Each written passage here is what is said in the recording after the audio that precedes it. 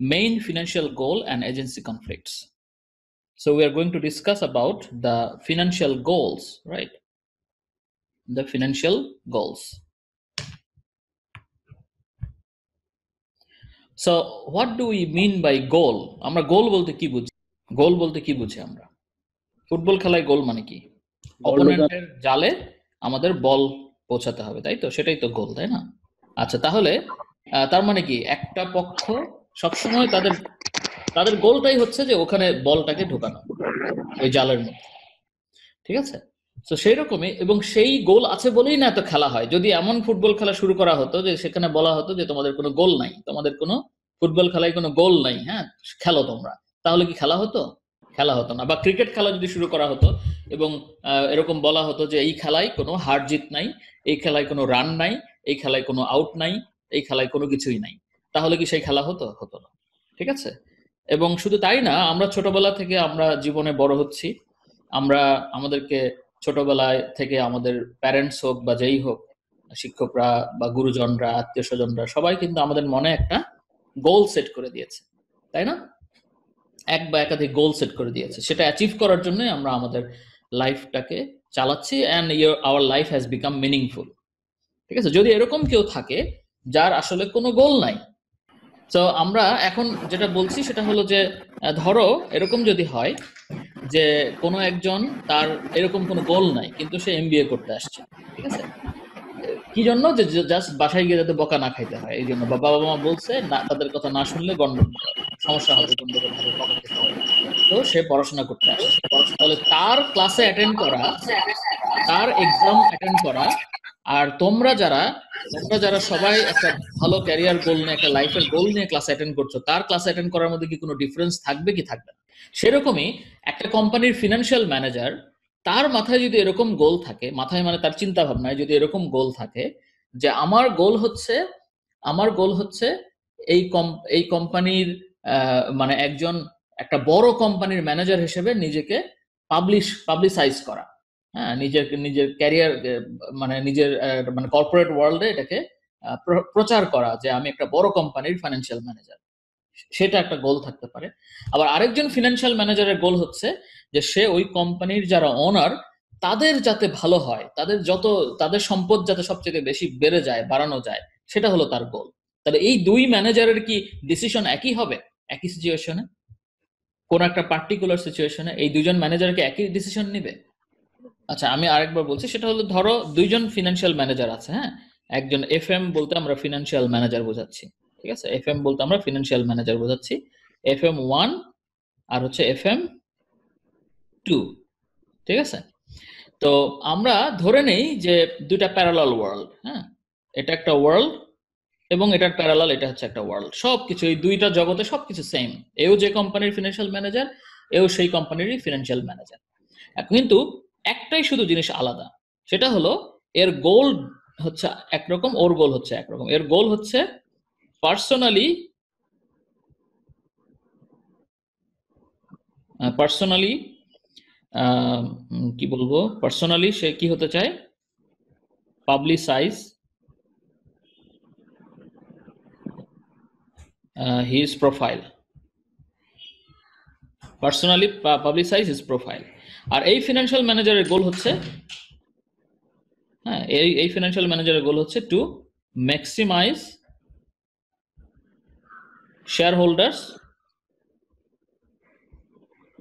Wealth হ্যাঁ share holders wealth মানে কি? শেয়ার হোল্ডাররা এই কোম্পানিতে ইনভেস্ট করেছে। তাহলে শেয়ার হোল্ডাররা যে কোম্পানিতে ইনভেস্ট করেছে, ধরো শেয়ার একজন শেয়ার হোল্ডার একশো টাকা ইনভেস্ট করছে। তো সে যদি বেশি প্রফিট জেনারেট করে, তাহলে তার ডিভিডেন্ড বেশি পাবে। তাহলে সেটা একশো টাকা থেকে একশো দশ টাকা হয়ে যেতে পারে। হ্যাঁ, এটা হলো শেয়ার হোল্ডারের ওয়েলথ ম্যাক্সিমাইজ করা। অথবা কোম্পানিকে এমনভাবে চালানো যাতে এই কোম্পানির মালিকানার ডিমান্ড বেড়ে যায় এবং ডিমান্ড বেড়ে গেলে কি হবে? তখন সবাই এই কোম্পানির শেয়ার কিনতে চাবে মার্কেটে শেয়ারের দাম বেড়ে যাবে।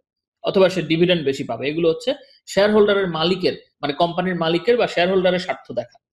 এটাই হচ্ছে তার গোল আর প্রথম জনের গোল বলেছে কি? তার পার্সোনাল প্রোফাইল যে আমি একটা বিরাট কোম্পানির বড় ফিনান্সিয়াল ম্যানেজার এটাকে পাবলিসাইজ করা।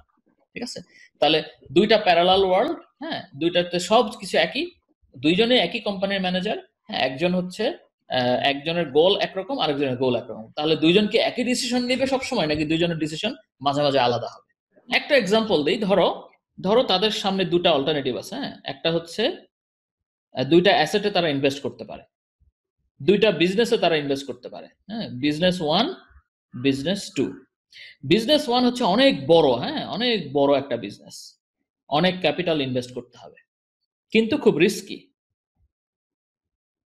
আর বিজনেস টু হচ্ছে অত বড় না, কিন্তু সেফ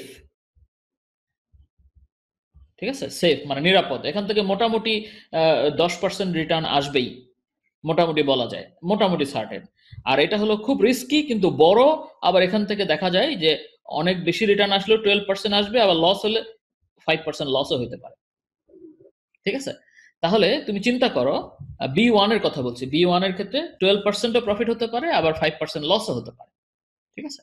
তো এখন তুমি চিন্তা করো যে এফ এম ওয়ান হ্যাঁ এই যে ফার্স্টের জন কোনটা কোনটা ইনভেস্ট করবে সেক্ষেত্রে? কারণ হলো যদিও এখানে রিস্ক রিস্কটা বিয়ার করবে কে? মালিকরা। মালিকরা প্রফিট পাবে না। লস হলে লস তাদেরকে মানে ডিভিডেন্ড পাবে না। কোম্পানির শেয়ারের দাম কমে যাবে। লস হবে মালিকের। কিন্তু সে একটা বিশাল বড় বিজনেসের ম্যানেজার হয়ে গেল। হ্যাঁ সে তার সে আগে ছোট একটা বিজনেসের ম্যানেজার ছিল সেটাকে আরও বড় সাইজের বিজনেসের ম্যানেজার হয়ে গেল। সো মার্কেটে এটা জানাজানি হলো যে এই লোকটা অনেক বড় বড় কোম্পানি ম্যানেজ করে আসছে। ঠিক আছে? কিন্তু যদি তার গোল ওইটা না থাকে যদি তার সেকেন্ডটা হয় অর্থাৎ তার গোল যদি থাকে এরকম মালিকের সরি ইন্টারাপশন হচ্ছে। আবার শেয়ার করছি আমি।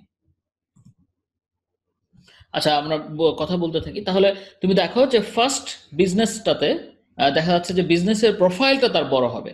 কিন্তু তার যদি গোল থাকে এরকম যে আমি শেয়ার হোল্ডারের ওয়েলথকে নষ্ট হতে দেব না, বরং শেয়ার হোল্ডারের ওয়েলথকে বাড়তে দিব, তখন সে করবে কি? সে বড় ইনভেস্টমেন্ট হলেও সেখানে যেহেতু খুব রিস্কি সো সেখানে সে ইনভেস্ট করবে না। Rather ten percent but relatively safe ইনভেস্টমেন্টে সে যাবে। তাহলে তোমরা বুঝতে পারছ যে একজন ফিনান্সিয়াল ম্যানেজারের অ্যাকশন অথবা ডিসিশন কিন্তু অনেকাংশে ডিপেন্ড করছে তার গোল কি তার উপরে। সুতরাং একজন ফিনান্সিয়াল ম্যানেজারের অ্যাপ্রোপ্রিয়েট গোলটা কি হওয়া উচিত, সেটা কিন্তু আমাদের মাথায় রাখতে হবে। সেই জন্যই আমরা এই সেকশনটা পড়ছি। ঠিক আছে? সেই জন্যই আমরা এটা পড়ছি যে what should be the main financial goal main financial goal of a firm, ঠিক আছে? এর সঙ্গে সঙ্গে আমরা আরেকটা জিনিস পড়ব, সেটা হচ্ছে এটার সাথে রিলেটেড হলো মেইন ফিনান্সিয়াল গোল যেরকম আমাদের জানতে হবে, সেরকমই জানতে হবে। এজেন্সি কনফ্লিক্ট বলে একটা জিনিস আছে। অর্থাৎ এই যে বললাম যে শেয়ার হোল্ডারদের গোল একটা মানে শেয়ার হোল্ডারদের পক্ষে গেলে তার গোল একটা, আর নিজের পক্ষে গেলে তার গোল হয়ে যাচ্ছে আরেকটা। তবে অনেক ক্ষেত্রে দেখা যায় যে ফিনান্সিয়াল ম্যানেজাররা তারা তারা শেয়ার হোল্ডারদের ইন্টারেস্টকে নিজের ইন্টারেস্ট মনে করে না। ঠিক আছে? কারণ আফটার অল তারা হিউম্যান বিং তারা চিন্তা করে, অনেক সময় তারা দেখা যায়, তারা নিজের পার্সোনাল ইন্টারেস্টটাকেই বেশি প্রাধান্য দেয়। এবং আমরা যদি এরকম দেখি যে একটা কোম্পানির ম্যানেজার তার পার্সোনাল ইন্টারেস্টকে বেশি প্রাধান্য দিচ্ছে, কিন্তু শেয়ার হোল্ডারদের ইন্টারেস্টকে কম প্রাধান্য দিচ্ছে, তখন আমরা বলব যে এখানে একটা কনফ্লিক্ট অফ ইন্টারেস্ট আছে। ঠিক আছে? সেই কনফ্লিক্ট অফ ইন্টারেস্ট নিয়েও আমরা এখানে পড়াশোনা করব। সো আমরা বলেছি যে actually the appropriate goal of a financial manager is to maximize share holder wealth appropriate goal হচ্ছে কি? To maximize share holder wealth মালিকের টাকা। কারণ বিজনেসটা চলছে হচ্ছে ওনারের ইনভেস্টমেন্ট দিয়ে এবং the owner of the business is actually the share holders okay so the ultimate goal or the main goal of the financial manager should be to maximize the shareholders wealth because this is the reason why the shareholders have invested in this business. Their intention is to maximize their wealth. If they have invested 100 taka they want it to grow as much as possible through this business.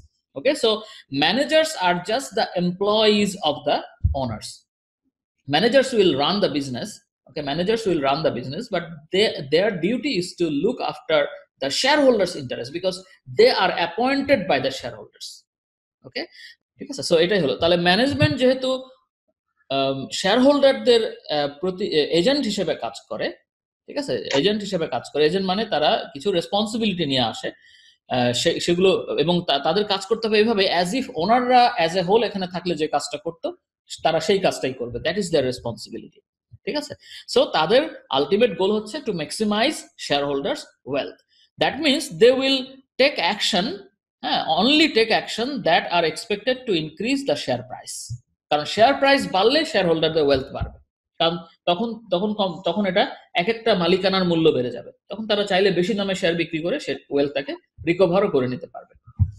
So একজন financial ম্যানেজারের সামনে যখন অনেকগুলো decision থাকে হ্যাঁ অনেকগুলো যদি decision অথবা অ্যাকশন থাকে, তাহলে তার মধ্যে কোনটা সে চুজ করবে অল্টারনেটিভ যদি থাকে, সেটা, সেটার বেসিস হবে, তাকে অ্যানালাইজ করতে হবে প্রতিটা ডিসিশনের পসিবল রিটার্ন কি কি? হ্যাঁ ভবিষ্যতে কি কি বেনিফিট আসতে পারে? মার্জিনাল বেনিফিট অথবা মার্জিনাল রিটার্ন হ্যাঁ incremental cash flow incremental return কি কি হবে? এবং শুধু তাই না, যেহেতু এটা future involve future is uncertain so তাদেরকে রিস্ক অ্যাসেস করতে হবে। তাহলে প্রতিটা অল্টারনেটিভের জন্য তাকে দেখতে হবে রিটার্ন কেমন আসতে পারে রিস্ক কেমন হতে পারে। হ্যাঁ এবং দেখতে হবে যে এটার ইম্প্যাক্ট শেয়ার প্রাইসের উপরে কেমন হবে। ঠিক আছে? ন্যাচারালি আমরা বুঝতেই পারি যে ভবিষ্যতে রিটার্ন যদি বেশি আসে আর রিস্ক যদি কম থাকে, তাহলে সেটা শেয়ার প্রাইসকে বাড়াবে। তাহলে প্রতিটা অল্টারনেটিভের জন্য এই, এইটা দেখতে হবে। এবং যদি যদি তারা দেখে যে এই অ্যাকশন নিলে শেয়ার প্রাইস বাড়বে, তাহলে তারা সেই অ্যাকশন অথবা ডিসিশন অ্যাকসেপ্ট করবে। আর যদি দেখেন না, আমি যদি এই অ্যাকশন নেই, তাহলে বা এই ডিসিশন নেই, তাহলে আমাদের রিটার্নও কম আসবে রিস্কও বেশি হবে এবং শেয়ার প্রাইস আলটিমেটলি কমবে, তখন তারা কি করবে? এই ডিসিশনটাকে রিজেক্ট করবে। This is the way the financial managers will make their financial decision keeping the shareholder wealth maximization in mind as a goal.